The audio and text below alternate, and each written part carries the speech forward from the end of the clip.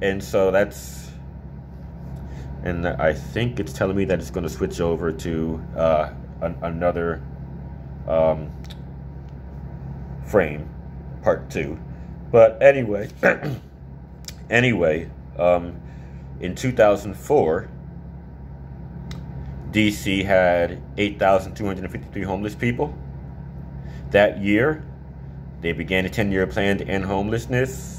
Uh, in 2015, we started a five year plan to uh, make homelessness rare, brief, and non recurring. Uh, and so we're, we're nearing the end of that plan cycle. But in 2016, we had 8,350 homeless people, which is 97 more than we had in 2004 when they began the 10 year plan. So it was 10, two years after the 10 year plan.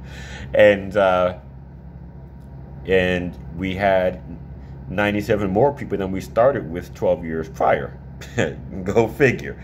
So things aren't really going well. Uh, the numbers for this year, uh, I haven't checked in a couple days, but when I when I checked around the 9th, I think, the numbers had not yet come out. Uh, so they may have come out today or yesterday. I'll check as soon as I get off of this video. And if they haven't come out yet, they should be coming out within the next few days. Uh, and I'm guessing that we have, give or take, 6,500 homeless people in DC. Maybe as low as 6,300, maybe as high as 6,700. Last year it was like 6521. I don't think we've moved the needle all that much over the past year. The count was done in January. The numbers come out in May. They used to come out in April. But um, I'm guessing that with COVID 19 and the economic shutdown, economic downturn, uh, we're going back to 2008. And uh, so 2021 will be much like 2009. Uh, there was not actually a major uptick in homeless people in 2009, even though we were in the throes of the economic downturn. Uh, we didn't actually get the massive increase until about 2014. Uh, it, it, took a few years, but something tells me we, we may reap the results of the economic downturn of 2020 a lot sooner. But in any instance, the city is going to need to uh, scale up its shelter and have probably about 8,000 beds in the very short term and maybe 10,000 beds by 2022. Uh, Muriel Bowser actually leaves office in January 2023 if she doesn't get reelected for a third term in 2022. Uh, and, and so, let me see. Well, it's it behooves her to make sure that that uh, she doesn't let the number of homeless skyrocket by failing to plan for a major economic downturn and and uh, for the results to occur during her during her term. So whereas we we saw that the major jump in in the number of homeless people six years, well, well I shouldn't even say six years. I should say a little more than five years, because the economic downturn ha- happened during the the end of 2008, and it was the beginning of 2014 when we counted. Um, 889 more homeless people than we had in 2013. So we, we would go up by about 200 people per year for several years after 2008. And then we went up by 889 homeless people uh, from 2013 to 2014. So in 2008, we counted 6,044 homeless people. And then we had those small increases for several years. And then we had 6,859 homeless people in 2013, and then we had 7,748 homeless people in 2014. Uh, and so from 08 to, to 2014, homeless the number of homeless people went up by almost a third. So right around 30%. And and uh, I don't know if we'll get that 30% increase in the next year or two as opposed to five or six years out.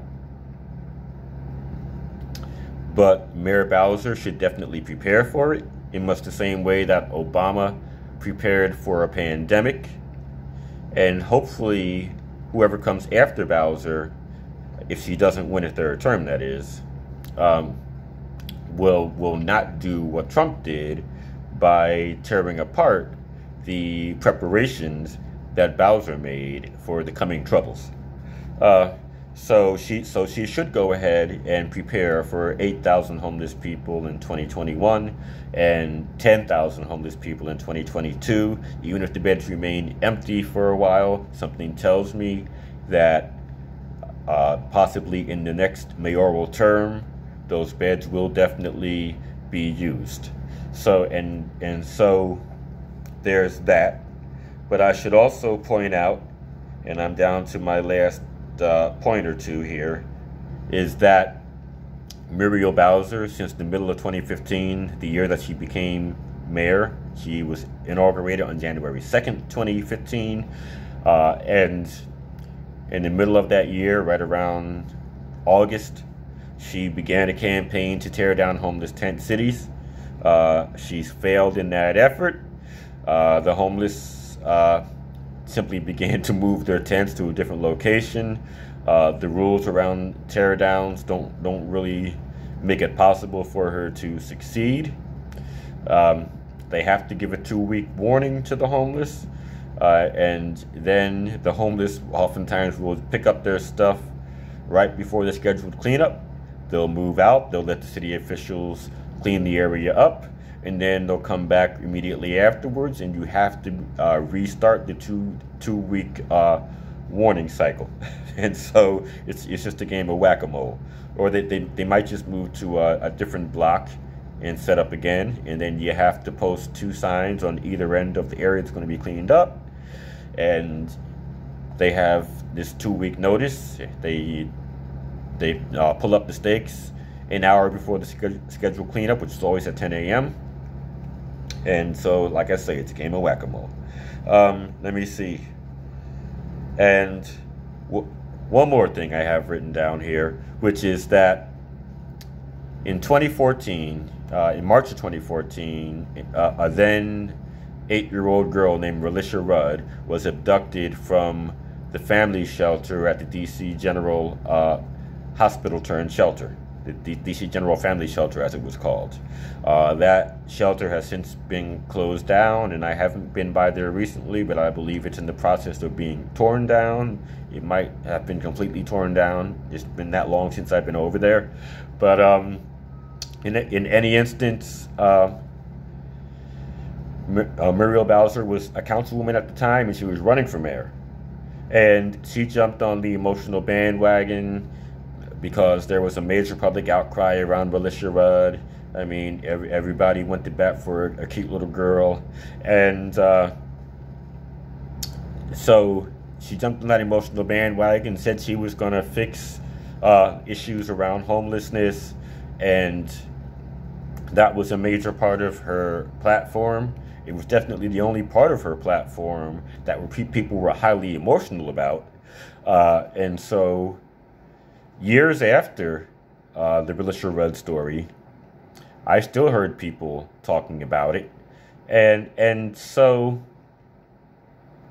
if she fails in this respect, if she fails to adequately prepare for the influx of homeless people uh, that we might get because of the COVID 19 uh, inspired economic downturn, then that will make her look really bad uh, especially since we also had a major uptick in homeless people from 2015 to 2016.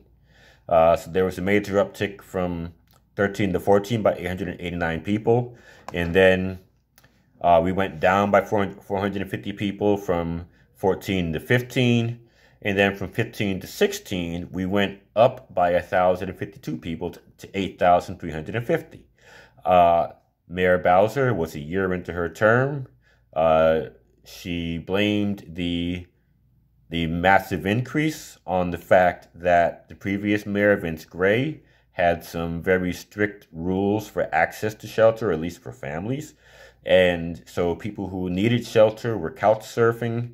And all of a sudden, when she became mayor and she uh, softened the rules and gave uh, homeless people, namely families, greater access to shelter, they came out of the woodwork. Okay, and that, and that is a credible argument. But with her realizing that, uh, she should make sure that she doesn't do something that decreases access to shelter so that when uh, her successor takes office, there's a, a massive influx of homeless people uh, into the shelter system. So she should, with that truth in mind, with her own uh, past uh, administrative issues in mind, should make sure that she prepares for the influx and and that she maintains uh, a high level of access to shelter for those who need it. And uh, better yet, she should speed up the process for connecting people to affordable housing.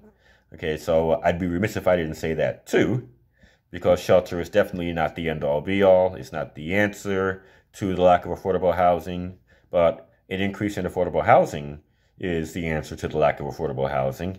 And it's better to force the force the rents down across the city than it is to have uh, programs of finite size that create affordable housing for an insignificant fraction fraction of a percentage of the people that need affordable housing. So I've said a lot and I'll leave it there.